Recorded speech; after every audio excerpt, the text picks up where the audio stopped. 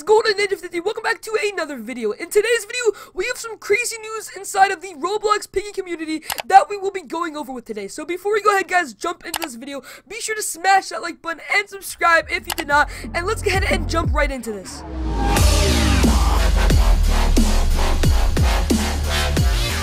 Alright, so everybody here has probably seen a Piggy copy game at least once before. And this is because Piggy is a very, very popular game, and people know they can make lots of money uh, just by copying the game. So because this, MiniToon actually tweeted out a few months back saying that please stop using his characters without permission and that this is illegal. So now it's been about two to three months later and we are finally starting to see some change. Piggy copy games are finally being banned off Roblox.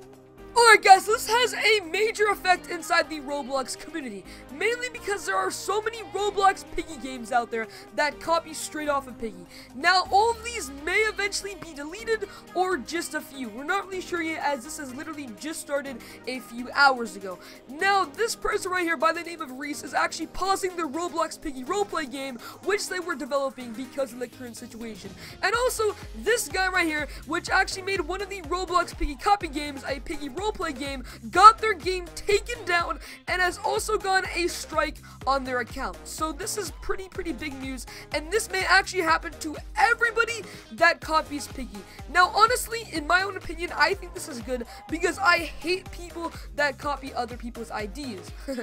but anyway, I think this is just great because this will eventually slow down and stop people from copying other people's games.